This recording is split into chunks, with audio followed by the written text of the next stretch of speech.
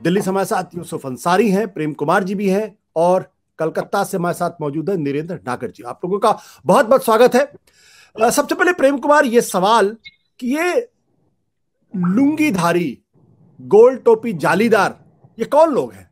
ये कहाँ से आते हैं? अपने को अनम्यूट करना पड़ेगा, प्रेम कुमार जी।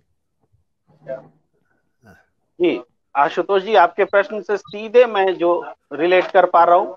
उस बयान को जो कि प्रधानमंत्री नरेंद्र मोदी जी ने झारखंड विधानसभा चुनाव के दौरान दिया था कि पहनावे से प्रदर्शनकारियों को पहचाना जा सकता है।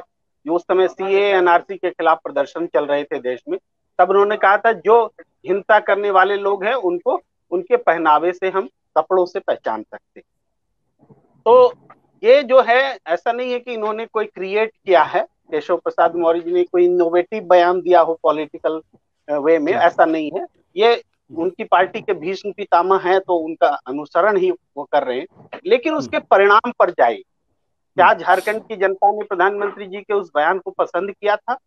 हम्म। उस समय के अगर प्री पोल्स वगैरह लिए जाए जब चुनाव हो रहे थे ठीक उस समय से पहले के झारखंड में तो रघुवर दास जी मुख्यमंत्री थे और हेमंत सोरेन आज मुख्यमंत्री हैं। दोनों के बीच पॉपुलैरिटी का जो वोट था वो लगभग 12 परसेंट का फ़र्क रघुवर दास जी के पक्ष में था।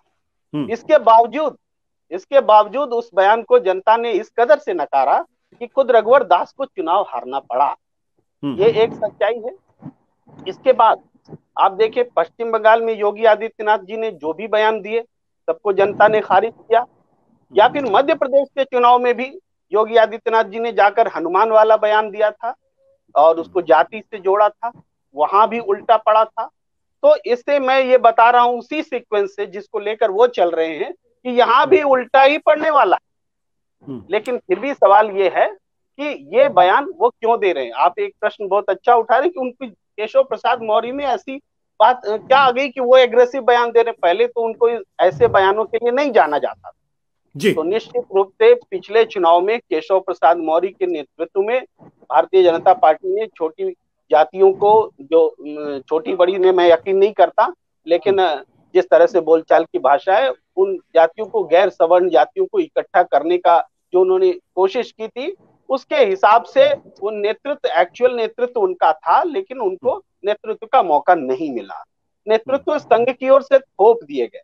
और ऐसा व्यक्ति आपको याद होगा कि इसी मंच पर करीब दो ढाई महीने पहले आपके ही साथ डिबेट करते हुए मैंने एक बात कही थी कि अगर योगी आदित्यनाथ जी को चेहरा बना करके बीजेपी लड़ेगी निश्चित रूप से चुनाव हार जाएगी बीजेपी ये बात मैंने दो ढाई महीने पहले कही थी।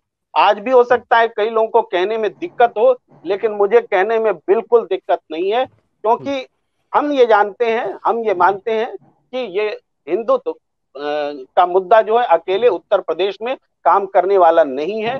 राम मंदिर का मुद्दा इससे बीजेपी चुनाव नहीं जीत सकती है। इस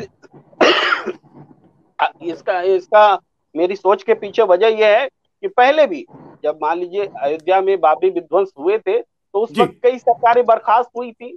तब जनता ने जो रिएक्ट किया था उन सरकारों को पलट दिया था। बीजेपी दोबारा जीत के नहीं आई।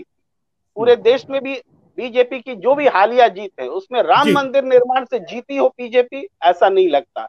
हिंदुत्व के एजेंडे के साथ जीती हो ऐसा नहीं लगता। लेकिन कई लोग मानते हैं कि नहीं हिंदुत्व के एजेंडे पर जीतती है। लेकिन मेरा मानना है कि हिंदुत्व के एजेंडे पर न बीजेपी को पहले जीत मिली है न इस बार मिलने वाली है। और योगी आदित्यनाथ को इस रूप में जो नेतृत्व के रूप में पेश किया जा रहा है तो पैरेलल जो। लीडरशिप जो आ, मैं केशव प्रसाद जी पर लौटता हूँ कि उन्होंने क्यों बयान दिया तो वो जो उनका नेतृत्व जो दमित रह गया आगे नहीं बढ़ पाया उसके लिए कंपटीशन का भाव जो है अंदर में चल रहा है कि कैसे योगी आदित्यनाथ से भी बड़ा फायर ब्रांड बन करके उभरा जाए और वो हम्म। कोई नया रास्ता नहीं वही घिसा पिटा रास्ता जो पिट चुका है जिससे पार्टी हार चुकी है उसी रास्ते पर योगी केशव प्रसाद मौर्य जी चलते दिख रहे हैं। आपके दोनों प्रश्नों का उत्तर सत्य हिंदी का ऐप डाउनलोड करें गूगल प्ले स्टोर पर।